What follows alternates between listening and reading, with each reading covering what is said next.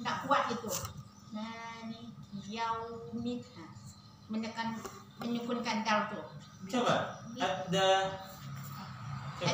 Ya udah gitu. Ad- It, ada ida iya, itu aja dulu ada angin ada Jangan ada angin. Da. da Masalah angin gak berangin itu kita balikan memang sifat-sifat itu yang yang harus kita jadi Oh, iya, patokannya. iya. Kalau dia nggak Ada- berangin jangan dianginkan. Udah, bagaimana caranya? Tutup pita suaranya. Tahan suara. Di di di di di di jangan di. di Iya, adi. adi gitu ya Cuma kenapa huruf dal? Huruf dal itu huruf syiddah. Apa itu syiddah? Suara atau- Eh, secara suara tertahan, kalau secara maknanya adalah bertemunya makro itu dengan kuat. Jadi jangan ini, di di jangan dilemahkan. Alhamdu, alhamdu, alhamdu. Ketemukan dia. Jangan bi, tapi bi. Karena dia huruf syiddah, kuat kuat makronya. Bi, jangan wis wis. Nggak ketemu kan? Tapi bi.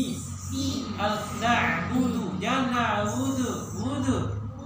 budu di da huruf syiddah eh, maka hamzah nggak boleh ini al alladhi tapi a kuatkan. Alladhi yang ila. Ila tadi. Ila. Ila. Ila.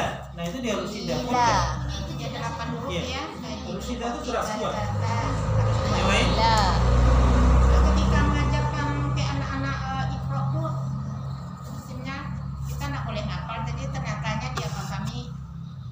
Disuruh ngapal gimana tuh jadi disuruh ini apa di mulut gitu nah perta maksudnya ya anak itu kan masih ikro masih ikro belum tahu untuk me- Jadi gini, eh, ini nggak masalah di rumah eh, rumah Imam Syafi'i aja mungkin. Seluruh orang-orang yang nggak paham dengan belajar Al-Quran ini pasti seperti itu.